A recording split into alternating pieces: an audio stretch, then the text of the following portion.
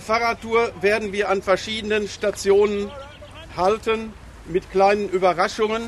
Mehr möchte ich jetzt noch nicht verraten. Für die Organisation ist der Wanderführer Heinz Schäferhoff verantwortlich, der sicherlich auch gleich ein paar Worte in dieser Angelegenheit sagen möchte. Ich wünsche nun der Radtour einen schönen und ruhigen Verlauf, aber vor allen Dingen viel Spaß und ein trockenes Wetter. Schade, dass wir keine Sonne haben. Und sage frisch auf.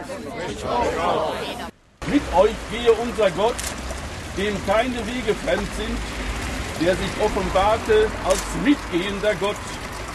Er segne euren Aufbruch und jeden eurer Schritte. Er begleite euch in die schöne Soesterbörde und lasse eure Reisewege sicher sein. Er behüte, was ihr zurücklasst und schütze, was ihr neu wagt. Er schenke euch ein aufmerksames Herz für die Wunder an eurem Wegesrand und für die Begegnung mit allen, die euch unterwegs begrüßen.